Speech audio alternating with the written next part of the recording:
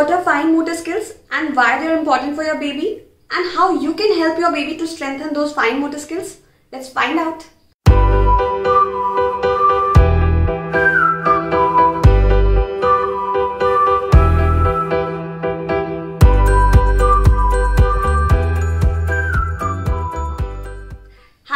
Hello welcome to the steering mommy world आज का हमारा टॉपिक है fine motor skills developmental activities for your babies so let's see actually what are fine motor skills PCL is the ability to make any movement with the help of small muscle groups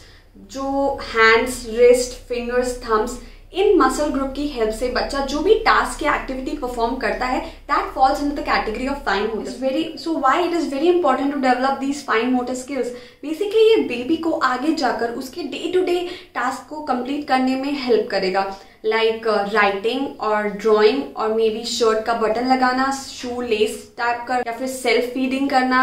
cup पकड़ के खुद से पीना. So next question when you can start introducing these activities I will say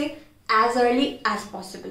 baby first time rattle पकड़ता है, अपने toys के छोटे छोटे पार्ट से उनको मूव करने की कोशिश करता है, अपने कॉट के हैंगिंग टॉय को पकड़ने की कोशिश करता है। बेसिकली वो अपने फाइन मोटर स्किल्स पे भी वर्क कर रहा होता है। मैंने eight month plus activity video जो अपलोड किया था चैनल पे, उसमें मेजरली सारी activities are focusing towards this fine motor skills and hand eye coordination तो अगर आपने वो वीडियो अभी तक नहीं देखा है go watch that video in fact वो एक्टिविटीज़ जो मैंने व्यू को इलेवेंथ मंथ में इंट्रोड्यूस कराया था लाइक पेन इन बॉटल मैं उसको वो अभी भी कभी खेलने के लिए दे देती हूँ बिकॉज़ जैसे जैसे बच्चा बड़ा होता है, अपने माइलस्टोन्स अचीव करता है, वो सेम एक्टिविटी को काफ़ी एफिशिएंटली मास्टर कर रहा होता है। उसके मेमोरी न्यूरॉन्स उसको रिकॉल कर रहे होते हैं सेम पैटर्न उसने क्या यूज़ किया था उस टाइम एक्टिविटी के करने के लिए। वो उसको इम्प्रोवाइज करता है so it is always good कि आप अपनी एक्टिविटीज़ को रोटेशन में लाकर उसे री इंट्रोड्यूस करते रहे